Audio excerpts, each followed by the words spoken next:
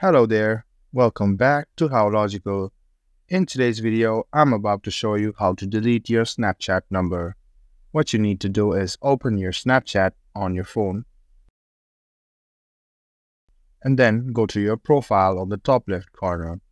Go to the settings on the top right corner and as you can see, tap on mobile number.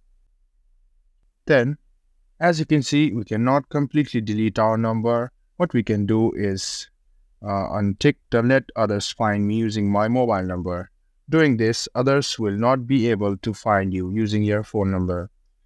You cannot completely delete your number, so this is the only solution. We can see a lot of videos showing that you can delete the phone number by keeping another email address or signing in from another account, but that doesn't happen. This is the only possible solution. So that is it, my guys. This is how you delete your number in Snapchat.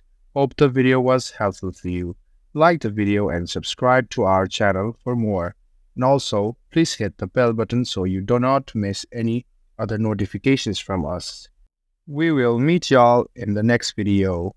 See you soon and until then, goodbye and take care.